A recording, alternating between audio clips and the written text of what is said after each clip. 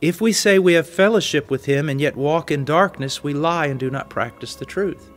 John is saying if we say we're Christian, but we are constantly walking in darkness, that means we're walking in a way that disagrees with what God has told us about Himself and His will, constantly living in rebellion, constantly living in sin, then there's no evidence that we're truly converted.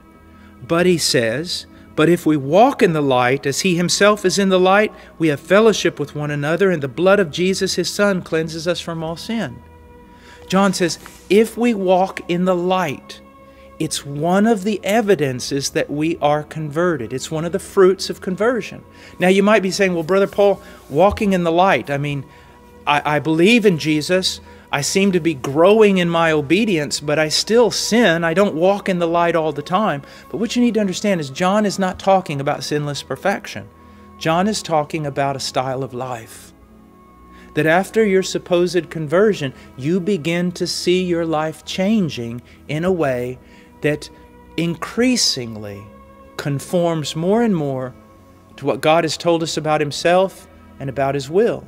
He's not talking about sinless perfection because the very next test is this if we say we have no sin, we are deceiving ourselves and the truth is not in us. If we say we have no sin, then we're definitely not a Christian. The truth is not even in us. We don't even understand who God is or who we are.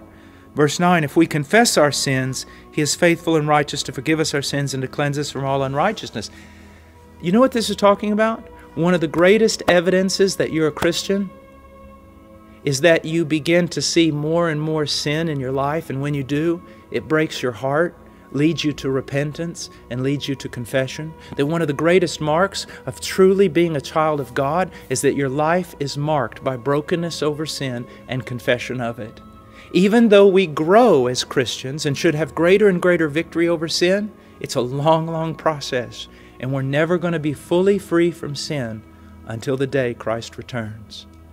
Assurance is so important, and there's two extremes, and both of them are very, very dangerous. What you need to know is this we're saved by faith, but if Christ has truly saved you, he who began a good work in you will finish it and will continue working, and you will bear fruit.